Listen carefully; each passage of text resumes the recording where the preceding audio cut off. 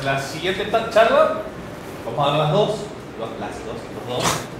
Eh, él es Alejandro García, él es profesor de inteligencia artificial en la Universidad Tecnológica Nacional, ingeniero en sistema de información, es, eh, junto conmigo es mi jefe de investigación en un proyecto de minería de datos. Además sos jefe de IT de, de Volkswagen. Ah, pues eso no cuenta, no sirve. Acá no, acá no cuenta. Eh, y bueno, y yo... Y, y, y Juan, Juan, ex alumno ingeniero en sistemas. Eh, bueno, trabajamos en el grupo hace más de un año. ¿Cuánto van? ¿Dos años ya? Tres años estamos trabajando. Oficiales dos y, Claro. y uno más. Eh, bueno, está, está empezando el doctorado en España. Sí, está- sí. Todo Eh, sigue dando como se está dando. trabaja como desarrollador en, en una empresa de Córdoba, una empresa local. Cierra la puerta, por favor. Ah, creo que ya, ya, cono- ya conocieron su historia dentro de Python en, el inicio del, del día.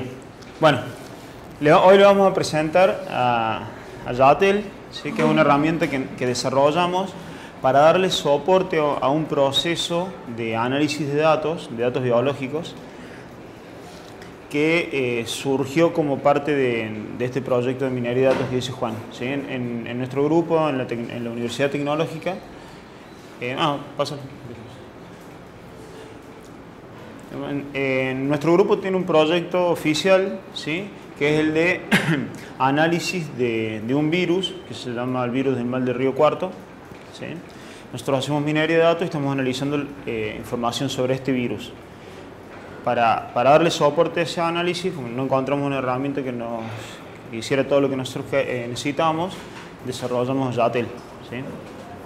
Entonces yo le voy a contar bien de qué se trata el, análisis que hacemos, ¿sí? para que después Juan les explique cómo está desarrollada la, herramienta. Eh, bueno, creo que, el, que el otro está en los.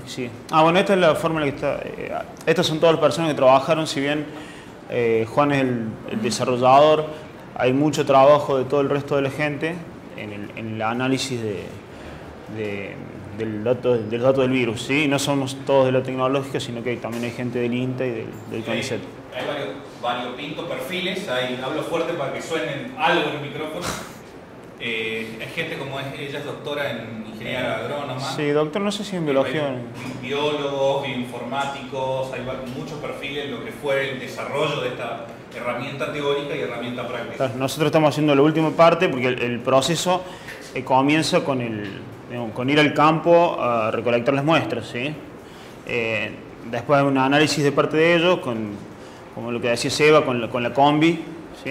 Que esto es para, para virus del maíz, no para personas, pero hay, que sacar información genética del virus, más, dale, y, lo seguimos viendo. Eh, bueno, entonces, para arrancar, hay, hay varios conceptos que nos conviene eh, aclarar. Seguramente muchos ya conocen eh, todos o algunos, pero es bueno aclararlo. Eh, nosotros hacemos minería de datos, ¿sí? Minería de datos en realidad es una, es una parte del proceso de KDE, ¿sí? que es el descubrimiento de conocimiento en bases de datos. Se supone que no, se sabe que en los últimos años todas las empresas ah, han crecido en, o sea, los volúmenes de datos que manejan las empresas han crecido exponencialmente. Al principio las empresas, digo las empresas porque estas tecnologías empezaron en, en las empresas y después se trasladaron a la ciencia, al revés que como pasa en, la mayoría de los otros casos. ¿sí?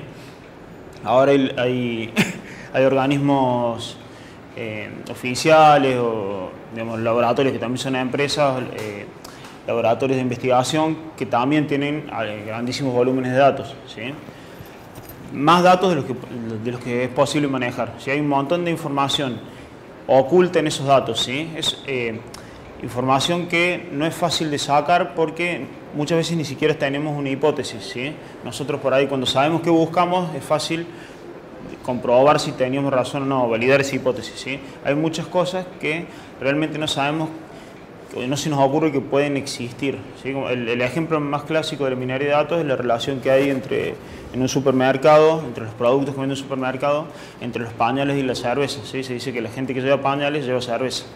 Esa información para los supermercados es muy útil, pero a nadie se le hubiera ocurrido ir a, ver si existía esa relación, si no, había un, algoritmo automático que le demostrara que encontrar esa relación entre los dos productos.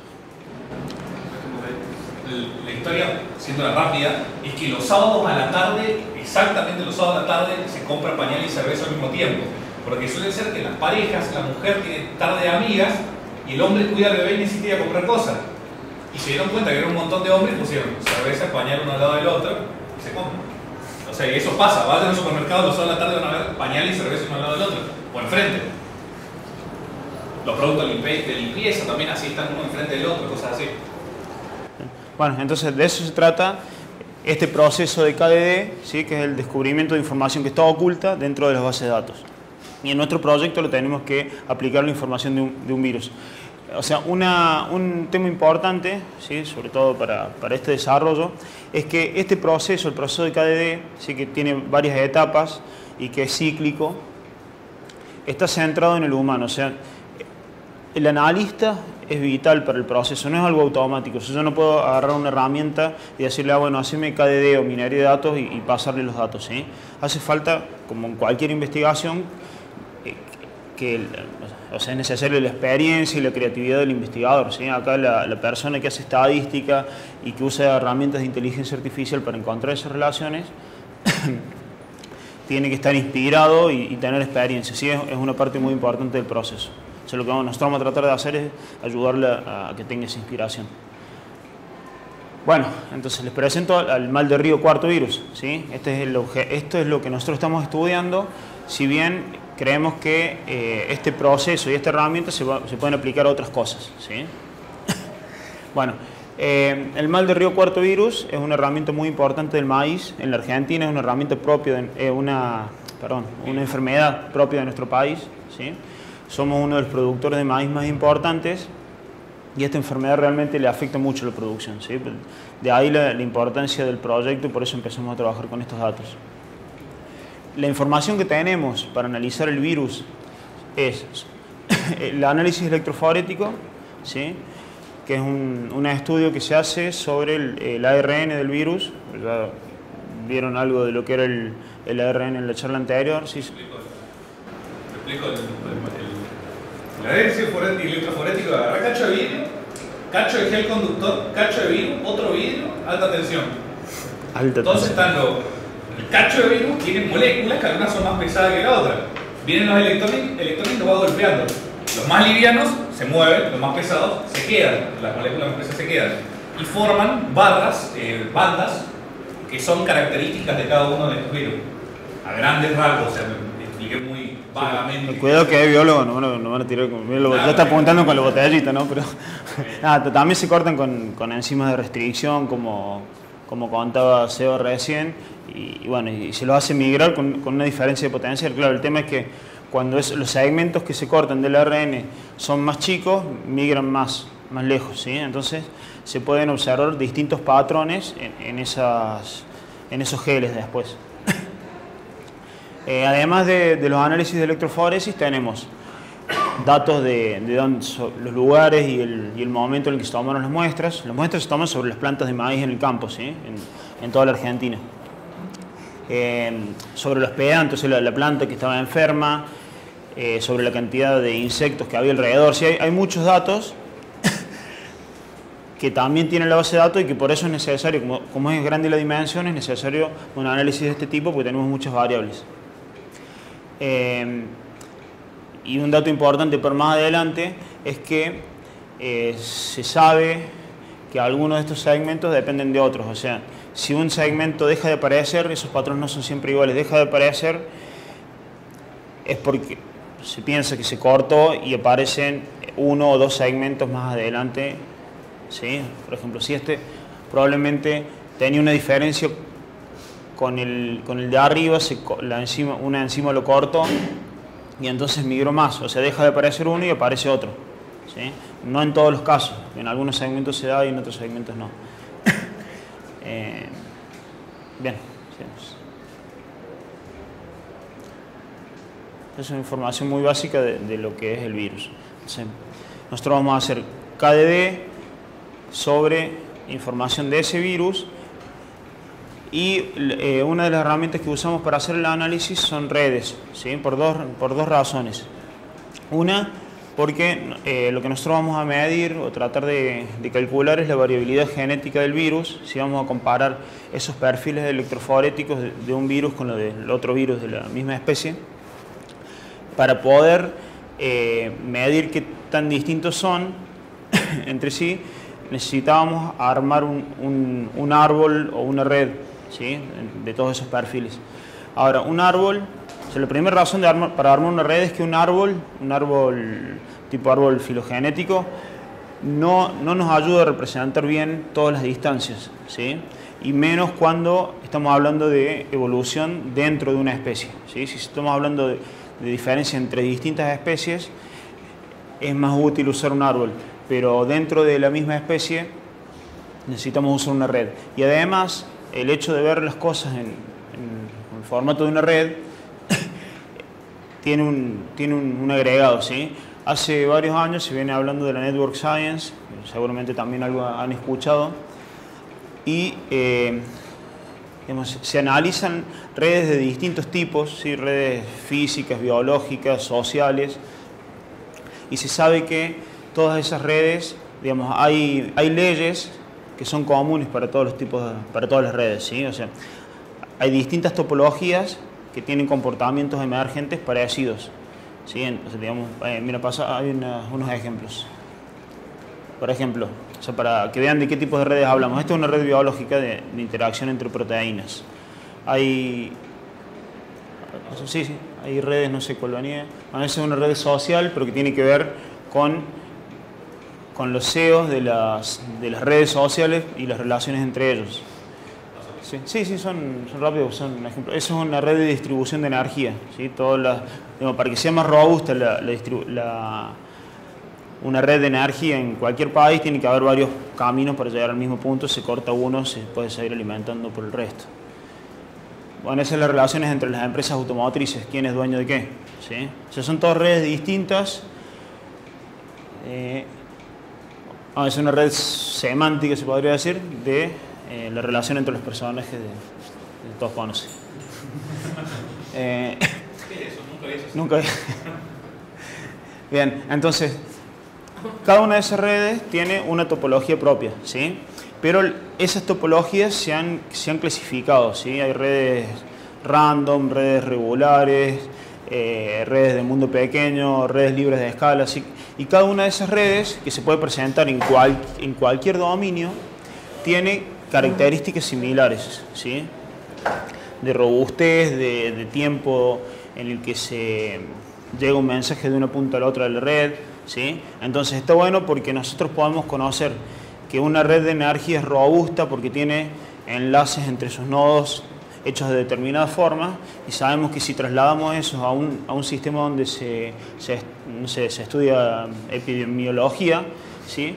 va a tener el mismo comportamiento. Aunque estemos hablando de dos dominios totalmente distintos, la red se va a comportar de la misma forma. ¿sí? Por eso es útil cuando, cuando hablamos de algo y ese algo se puede ver como una red, saber de qué tipo de red forma, ¿sí? porque sabemos que, es muy probable que herede comportamiento, el comportamiento de esos tipos de red. ¿sí?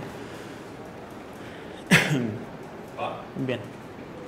Bueno, y este, este es el proceso de análisis que nosotros terminamos haciendo para, para, para nuestro virus. Fue, fue saliendo con el tiempo, son varios años de análisis y para poder entender la variabilidad del virus terminamos armando este proceso, que es, es cíclico como cualquier proceso de KDD, ¿sí? donde se van definiendo cosas, se, van llegando a algunas conclusiones y por ahí tenemos que volver a redefinirlas y, seguir trabajando. Eso es típico de cualquier proceso de KDD, pero esto es el, el proceso de exploración de redes que eh, armamos nosotros y para lo que no encontramos una herramienta que nos, que nos sirviera 100% y por eso desarrollamos Yatel. Sí. Bueno, esto arranca... Ah, ahí está. O sea, arranca obteniendo la información biológica. Ese es el artefacto que hacía Seba hace un rato, que no es tan complicado como parecía. Eh, eh, obtenemos los, nuestros análisis electroforéticos. ¿sí? atrás de eso está todo el trabajo de los biólogos, que después nos siguen acompañando en el análisis más vale. y tenemos que buscar, es simple, una forma de representarlo. Como en este caso son, son segmentos o bandas electroforéticas que están o no están, directamente lo representamos con una cadena binaria, ¿sí? donde en, esta tabla cada fila ¿sí? es un haplotipo, se llama haplotipo, que es un, genotipo haploide, que es una de las combinaciones que se encontraron en la naturaleza de ese virus. ¿sí? No todas las combinaciones existen para esas cadenas binarias. ¿Sí? Hay solamente algunas que son estos 21 haplotipos que se conocían. En realidad ahora hay, un par más, estos datos son del año pasado. ¿sí? Eh, entonces en esta tabla están representados todos los haplotipos que existen o que existían hasta ese momento. Si bien la base de datos es mucho más grande, son esos 21 haplotipos los que aparecen en distintos lugares, en distintas plantas, etc. Eh, bueno, ahí no se ve, lo que pasa es que se va resaltando la etapa en la que vamos entrando. No sé quién se nota. Después de, de, tener, de, de tener los datos ya representados de alguna forma que los podamos usar, necesitamos empezar a medir la, la distancia, la diferencia que hay entre, entre cada par de perfiles. ¿sí? Nosotros tenemos, estamos comparando perfiles. Podrían ser clientes de un supermercado o, personas que tienen cuenta en un banco. ¿sí? Estamos trabajando con virus. Pero la idea es agarrar dos individuos y ver qué tan lejos está cada, uno de, ellos. ¿sí? Qué tan lejos están entre sí, perdón. Y armar una red con todas esas diferencias. ¿Cómo calculamos la, diferencia? Bueno, hay muchas formas y por eso es un ciclo. ¿sí? A lo mejor yo ahora defino una y después me doy cuenta de que era mejor definirla de otra forma y lo vuelvo a hacer. Esta es la lo que usamos como definitiva. ¿sí? Está basada en la distancia de Hamming, que es esta de acá, la de DB5 y DB8. La distancia de Hamming, para los que no saben, es la, la cantidad de diferencias que tiene una cosa sobre otra. O sea, qué sé yo, la palabra casa de caso, tú puedes decir que tiene una distancia Hamming de 1, porque hay solamente una diferencia entre esas dos. No toma en cuenta de cómo se llega a una diferencia de otra. Le falta una letra, es una diferencia, listo, está contado. Cosas así. Claro. Y esa, digamos, es la más simple, es la más lógica y es la, la base. Lo que pasa es que después por el conocimiento que se tiene sobre el virus, tuvimos que empezar a redefinir algunos de esos términos. ¿sí? Estos dos quedaron como distancia de Hamming pero eh, a los otros los tuvimos que cambiar porque sabemos que hay dependencias entre los segmentos. O sea, si, si yo estoy analizando personas, ¿sí? Tengo, y cada uno de esos segmentos es una característica de la persona, y no sé, digo, la característica A, supongamos que es binario también, es le gustan las bicicletas, y la, y la B es tiene hijos, ¿sí? si hay una persona a la que no le gustan las bicicletas y que no tiene hijos, y hay otra persona que, tiene hijos y le gustan las bicicletas, están a distancia 2. O sea, yo para convertir este perfil en este tengo que cambiar dos cosas. ¿sí? en ese caso usaría la distancia de Hamming. Si yo tengo que, una si tengo, no sé, un campo hombre y otro mujer, este es hombre y no es mujer, y este es mujer y no es hombre, no están a distancia 2. En realidad yo necesito hacer un cambio, ¿sí? porque yo sé que si no es mujer es hombre, ¿sí? entonces en realidad por más que en la base de datos parezca que son dos campos que son eh, distintos, hay un cambio, un cambio real. ¿sí? Acá, biológicamente, con un solo cambio, yo en muchos casos tengo dos cambios en, mi patrón electroforético. ¿sí? Por eso tuvimos que redefinir todos esos términos, teniendo en cuenta todo lo que se había avanzado en la investigación con el virus, sabiendo qué segmentos dependían de, cada... O sea, mucho, perdón, muchos de esos fueron inicialmente estadísticos, ese conocimiento, y después se, logró comprobar con, el secuenciamiento. Bien, una vez que definimos esas medidas de distancia, directamente ejecutamos el cálculo de distancia, eso no, tiene ninguna ciencia, ¿sí? Lo complicado fue, fue la etapa anterior. Esta es la matriz de distancias que hay entre, los, entre todos los haplotipos. No sé por qué quedaron desordenados, pero bueno. Eh, se lo digo, el principal es cero, más vale porque es un haplotipo contra, contra sí mismo. Contra sí mismo. Eh, bueno, y acá ya podríamos ver, por ejemplo, cuál es la distancia máxima que hay entre dos haplotipos y cosas así. ¿sí? O podemos calcular la distancia promedio. Con las distancias ya, estamos eh, habilitados para crear la red. ¿sí? Esta es la red de los haplotipos conocidos del mal de Río Cuarto. cierto? están presenciando la primera versión del programa. Sí, sí. Esto fue lo primero que se presentó al INTA. El, bueno, ¿qué, ¿qué, se está mostrando acá? En el centro de la red está el haplotipo más frecuente. ¿sí? El haplotipo 9 es el que más existe en la naturaleza, pero lejos es el más frecuente. Este, se grafican arcos entre los haplotipos que están a distancia 1 entre sí. ¿sí? A lo mejor este y este están a distancia, de hecho este y este están a distancia 2, pero no hay un arco, ¿sí? solamente los que necesitan una, un cambio para convertirse en el otro. Eh, esos círculos concéntricos muestran la distancia entre el haplotipo que está en, en, cada círculo y el haplotipo más frecuente, es el 9. Yo sé que este está a distancia 3 del 9, por ejemplo. Sí, toda, toda esa información útil cuando creamos la red para tratar de, de, entender o de lograr mayor conocimiento sobre el virus. Sí, otra cosa que trata de solucionar el programa, el software de Atel, es que, por ejemplo, el tema de los círculos, eh, acá era para facilitar la lectura, pero en un software podría decir directamente, borrame todos los arcos que no me sirven, mostrame estos otros arcos y cosas así, que para un biólogo que no, es ducho, en, digamos, no, no es que no es ducho, o sea, tenés que manejar menos conceptos, decir, borrame las cosas y mostrármelas, está, digamos. Claro. Sí, nosotros hemos renegado mucho después se torna divertido, pero al principio, porque los biólogos con los que nosotros trabajamos no son, no son como, como la gente que estudió bioinformática o biotecnología. De hecho, recién preguntaban si, BioPython podía tomar directamente la información de las máquinas que, hacen los análisis. Bueno, allá nuestros amigos del laboratorio lo que hacen es, tienen, tienen una máquina que, no sé, un disquete, porque una máquina vieja, donde les guarda un archivo. Ellos lo sacan, lo ponen en una impresora, lo imprimen, lo guardan en una carpeta y borran el archivo. Entonces, y son un montón de datos. Entonces, cuando nosotros nos enteramos y queríamos matar porque después hubo que, hubo que escribirlos. Claro, y después hubo, alguien tuvo que poner y copiarlos de nuevo. Sí, digamos. Digamos, la interfaz de usuario es un problema importante. Sí. Pero el, so- lo bueno del soporte de papel es que no se, no se arruina cuando se corta la luz. No, pues se llena de café a veces. Sí.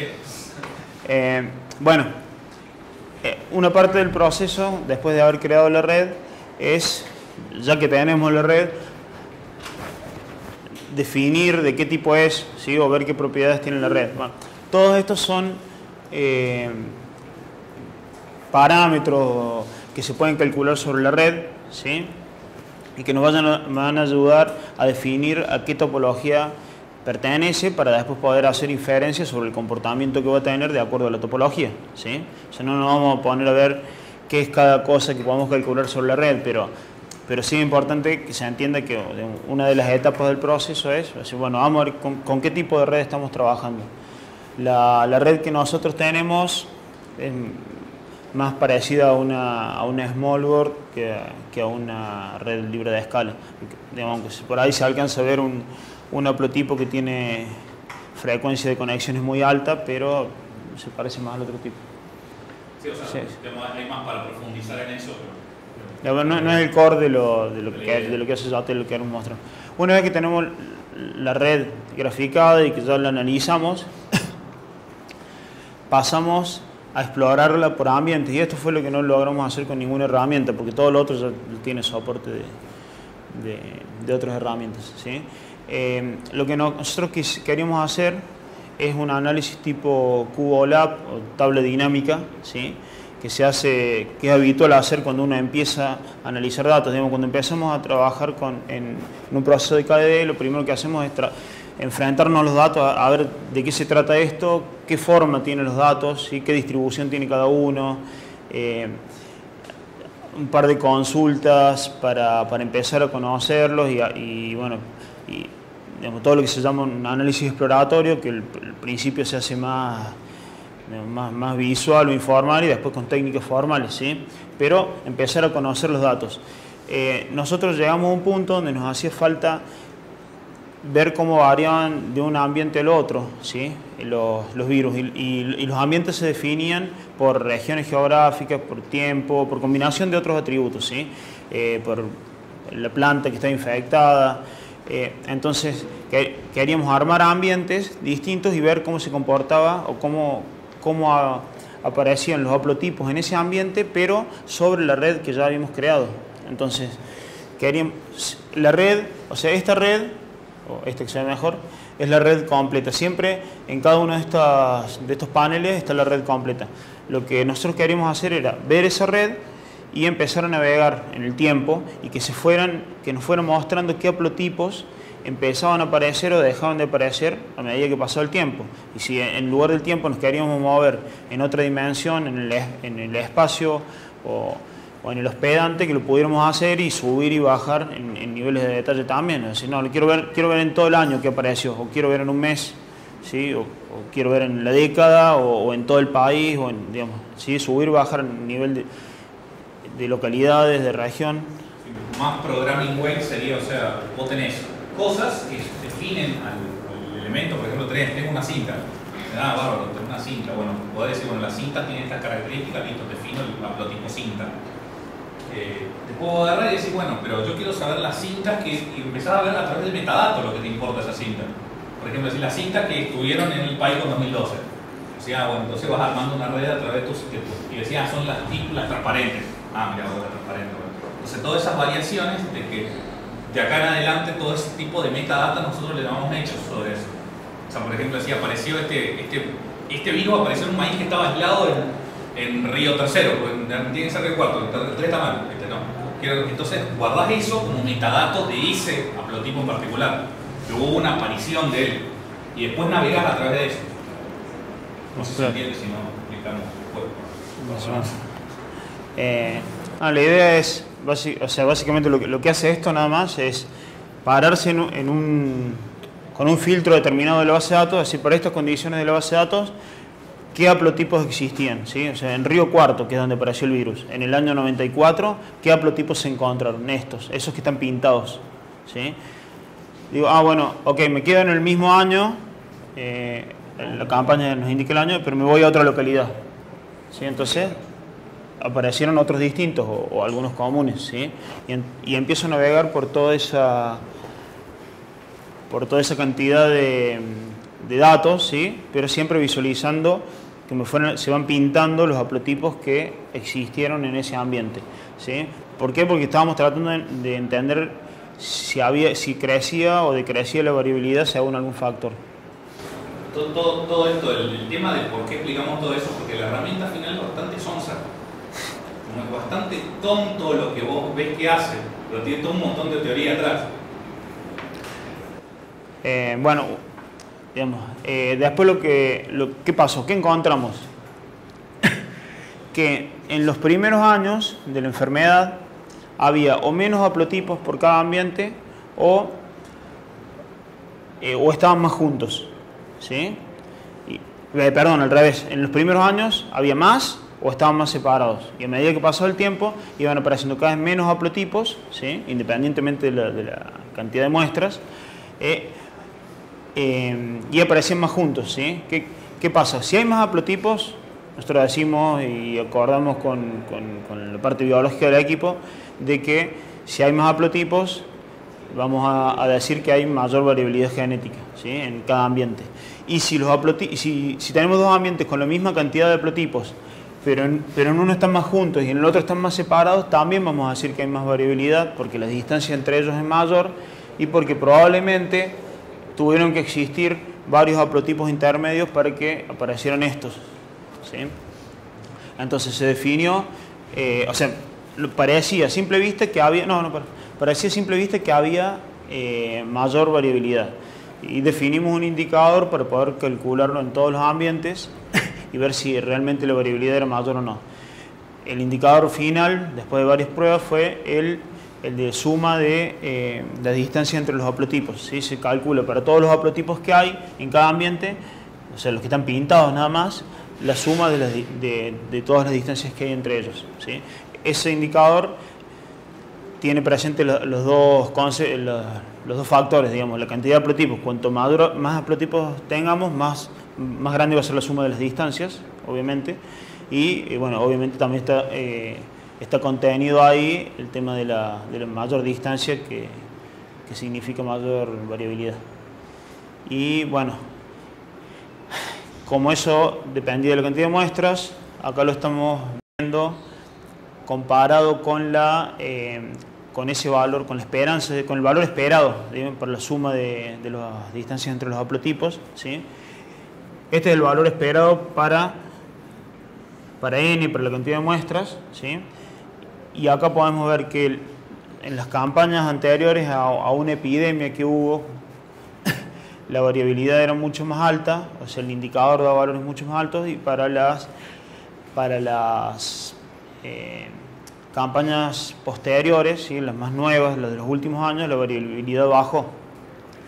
Después nos enteramos que había habido una epidemia, nosotros veíamos un corte en ese punto y buscando en, la, en, la, en la documentación encontramos que había habido una epidemia grande. En ese año hubo una epidemia y, de, y después de ahí eh, vimos que había bajado la, la, variabilidad. Con los datos nuevos, con los datos que estamos procesando este año, tenemos menor variabilidad. Se van amontonando todos más abajo que los que, que los que vimos recién. Teníamos los de la antes de la epidemia, después de la epidemia y los nuevos están más abajo todavía. Y, gráficamente también se puede ver. Entonces, como conclusiones, por el lado del virus, la variabilidad está bajando. Eh, a nosotros nos pareció eh, muy útil el tema de, usar las redes dentro del, del, proceso de KDD porque encontramos cosas que no se habían encontrado antes. Se había trabajado mucho sobre ese virus, pero hay, estos datos que encontramos nosotros no se habían publicado ni, los conocía la gente que está trabajando desde hace muchos años sobre el virus. Eh, y bueno, y lo que resaltamos es que como el proceso de KDD es, entrado en el humano, necesitamos mostrarles información, necesitamos que el, analista pueda explorar los datos, explorar las redes, para que se le, para que se le ocurra la idea de que en el tiempo ¿sí? había, eh, había bajado la variabilidad. ¿sí? Después con el indicador lo podemos demostrar, pero pero necesitamos generar la hipótesis. ¿sí? Entonces esta exploración de redes por ambientes era lo que no teníamos forma de hacer antes y que pudimos hacer y, y logramos, eh, sí, logramos esa conclusión. Bueno, y ahora Yatel, que es la, herramienta. Esta arquitectura de todo el proyecto, la idea del proyecto es que o sea, hacer una herramienta que maneje grafos a gran escala no es moco de pavo, es algo muy difícil de hacer. Particularmente si los que están conectados a internet, búsquense GrabTool, fíjense los gráficos que hace eso y es muy difícil de hacer, incluso está programado en, en, en Python, o sea, digamos, puedes usar desde Python pero está C. Eh, y es muy, muy eh, poderosa la herramienta, pero evidencia muchas cosas de C para que no se rompa. La estructura del, toda la, librería, bueno, todo lo que está en negro, está en negro, créanme, y el fondo está de otro color eh, está basada, bueno, la interfaz gráfica en Qt, ahí NumPy tiene que haber, digamos. Eh, hay otras librerías que sirven para comunicarse con otras cosas, hay una parte de conversores que sirve, por ejemplo, tengo el DOM de mi proyecto, que son haplotipos, haplotypes, sí, haplotypes, eh, edges, o sea, conexiones, serían los en inglés, y, eh, y facts, los hechos, y decir, bueno, con esto créame una instancia GrabTool. Te, te escupe una instancia GrabTool, procesa en GrabTool y decir, bueno, con el conversor de nuevo, bueno, volver a convertir una instancia Yatel. Bueno, tenés arriba del, arriba del DOM también tenés basado el, la base de datos, o sea, toda la operación se hace en SQL. Digamos, en realidad tiene una abstracción con un ORM, que no lo puse acá, pero está basado sobre Piwi, que es un ORM muy parecido al de Django, que no anda muy bien para producción, pero para estas cosas anda bárbaro. Y bueno, tiene una serie de los, los, algoritmos más famosos para calcular distancias entre lo que es secuencias. O sea, por ejemplo, tiene distancia de Levenstein y demás que se usa para el procesamiento del lenguaje natural de palabras, ¿viste? O sea, las tiene porque vos podés tomar eso como una palabra y ver qué sale, digamos. Sí, te puede servir para hipótesis iniciales. En algún momento tenés que hacer tu propio cálculo de distancia. Eh, lo bueno es que eh, la, parte no gráfica si usted no importa yatel.ui, no trae nada de entorno gráfico y ni siquiera necesitan Qt. O sea, nada. Eh, la forma de usar Yatel como librería, ¿se nota? No sé, se lee, eso es lo que... Bueno, importo desde Yatel, importo DOM, weight y DB. Esto está en PIP, pero yo le voy a explicar una. Creas haplotipos. Primero es el, ID, es un texto el ID. O sea, por ejemplo, decir, bueno, la primera haplotipo es el app 0. Haplotipo cualquier cosa, no es necesariamente un virus. De hecho, esta creo que es la base de datos. Que, no, no es la que voy a mostrar, pero es también una base de datos de juguete. Eh, tenés los diferentes atributos de ese haplotipo, por ejemplo, las bandas, la B1 en 0, la B2 en 1, la B3 en lo que sea. Tenés eh, los hechos, que apuntan a una, a una ID de haplotipo. Eh, esto sirve para calcular la distancia de Hamming. El, el, los, los, objetos Edge, como primer parámetro, soportan el, el peso, weight, de, de, cada entre dos nodos. O sea, vos le decís, bueno, generame un arco entre eso. Bueno, pasame cuál es el peso de ese arco, te pide. Y bueno, con la distancia de Hamming te iba a decir entre 0 y 1, fíjense, va a dar 1. ¿Sí? Esta es la única distancia. No, 2. Esta y esta tienen diferente. B1, B2, B3. Sí, B1, B3 es la única distancia. Va a dar, esto va a dar 2 acá. Va a guardar un edge con 2 entre el haplotipo 0 y el haplotipo 1. Eh, y al final usted, bueno, pueden hacer una conexión. En ese SQLitl soporta todo lo que soporta Piwi, que es SQLitl, eh, Postgre y mm, MySQL. Eh, bueno, ustedes le dicen, bueno, crea, hacemos una conexión, iniciame la base de datos con todos estos haplotipos, con todos estos facts y con todos estos edges. Además crea un montón de tablas de soporte que para que la siguiente vez que vos levantás esa base de datos, puedes hacer un conectame y decime que es una base de datos Yatel, dale. o sea, no te preocupes en cargarla con otra porque ya tiene cosas adentro. Y bueno, ahora la herramienta, o sea, eso usarlo como... ¿Tiene algo más después? No, pregunto. Bueno, aguárdense que después están las filminas preguntas.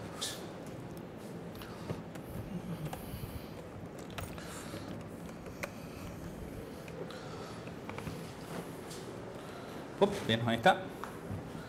Bueno, acá, ¿dónde está mi mouse? ¿Dónde está mi mouse? Acá está el mouse. Ahí está el mouse.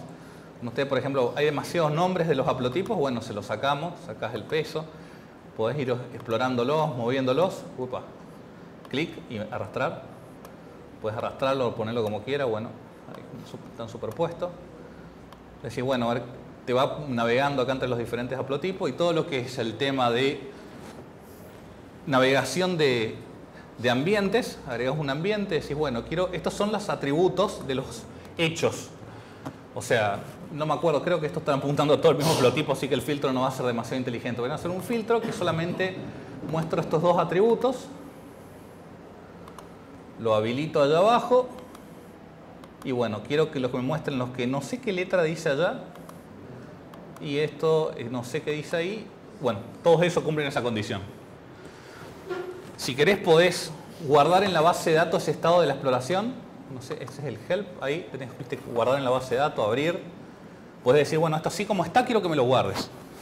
Podés agarrar acá al costado y unos slide, sliders. Ufa. No sé dónde está el mouse, ahí está. Unos sliders para ir, no sé si estoy arrastrándolo. Eh. ¿Está ahí estoy arriba del cos. ¿Está bajando? Tenés otra. Lo que pasa es que no están conectados a la base de datos real. No, no, sí, pero. ¿Tiene otra distancia eso? Por ahí 0,197 dice. Ah, pero ¿para qué? Vamos a bajar. Pero está bajando el, el slider. Ahí está, sí. Ahí yo no estaba arrastrando bien. Podés hacer directamente una consulta sobre el SQL. Bueno, ahí dice select asterisco from upload ¿no? Bueno, puedes hacer cosas así. Puedes hacer una exploración más desde SQL o como lo discutimos con Damián varias veces, obviamente tiene que estar integrado con IPython. Así que puedes hacer cosas con IPython porque bueno, es el nene mimado de la ciencia, según el licenciado. Puedes, bueno, podés guardar las cosas, podés levantar otra base de datos, podés, tiene una forma de importar desde la primera entrada que teníamos eran archivos de, separados por coma. Eso era lo, más fácil que teníamos para ingresar, así que tiene un wizard para traer desde, desde, hasta que llegue OpenJatel import ahí, o algo por el estilo, wizard. Bueno, esto a close without saving. Y te abre uno en el cual vos le tenés que cargar tres SB que no los tengo a mano. Te abre la tablita, puedes seleccionar cuál es el API ID y demás y con eso te genera todas las instancias, te genera la base de datos, te guarda. Todo el entorno gráfico está basado en sentencias SQL. O sea, todo lo que vos haces cuando subís y bajás está haciendo un select tal cosa, dibujame esto, dibujame lo otro y, digamos, o sea, que puede hacerse exactamente lo mismo a través del Yatel Connection. O sea, los métodos que tengo reimplementados exclusivos de la Yotel Connection son los métodos que sirven para hacer el entorno gráfico, que en definitiva es lo que vos querés hacer como exploración. Y te evitas cargarte esto, por ejemplo, el entorno gráfico.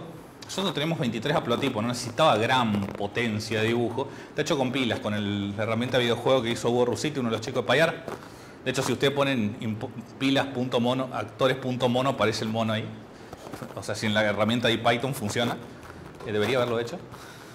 Y, pero, o sea, pero si quieren algo más poderoso, pueden hacerse la base de datos, operarlo de una otra manera y pasar una herramienta que sea mucho más poderosa para manejar grafos, como por ejemplo GrabTool, que es una bestia, realmente es muy grande la herramienta. Yo no tengo más. Ahora sí, filminas de preguntas que están en la otra máquina. Tata.